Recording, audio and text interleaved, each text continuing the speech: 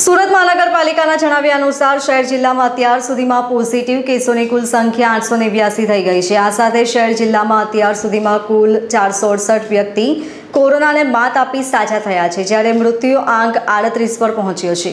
સુરત શહેર અને જિલ્લામાં કોરોનાના શનિવારે સાંજ સુધી આઠસો નેવ્યાસી પોઝિટિવ કેસ નોંધાયા છે, જેમાંથી ચારસો અડસઠ લોકો સાજા થઈ ઘરે પહોંચ્યા છે. તો આડત્રીસ લોકોના મોત નિપજ્યા છે. શનિવારે નવા નોંધાયેલા પોઝિટિવ કેસોમાં નાના વરાછામાં કોરોના પોઝિટિવ, માતાની સારવાર માટે ખડે પગે હાજર રહેનાર એડવોકેટ અને નવસારી કૃષિ યુનિવર્સિટીમાં નોકરી કરતા તેમના પત્નીનો રિપોર્ટ પોઝિટિવ આવ્યો છે. તેવી જ રીતે પાલિકાના વરાછા હેલ્થ સેન્ટરની લેબ ટેકનિશિયનનો રિપોર્ટ પણ પોઝિટિવ આવ્યો છે. જ્યારે ઉધના પંચશીલ નગર કોમ્યુનિટી સ્પ્રેડિંગમાં એક જ દિવસમાં ચાર કેસ સામે આવ્યા છે. તેવી જ રીતે ગોપીપુરામાં જગ્ગુ વલ્લભની પૂળમાં એક જ પરિવારના ત્રણ સભ્યોનો રિપોર્ટ પોઝિટિવ આવ્યો છે.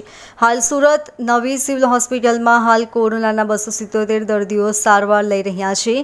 આ દર્દીઓ પૈકી બાવીસ દર્દીઓની હાલત ગંભીર હોવાનું જાણવા મળ્યું છે. જેમાંથી ત્રણ દર્દીઓ વેન્ટિલેટર પર આઠ દર્દીઓ બાયપેપ પર અને અગિયાર દર્દીઓ ઓક્સિજન પર કોરોના સામે જંગ લડી રહ્યા હોવાનું જાણવા મળ્યું છે. Bureau report LK star news Surat.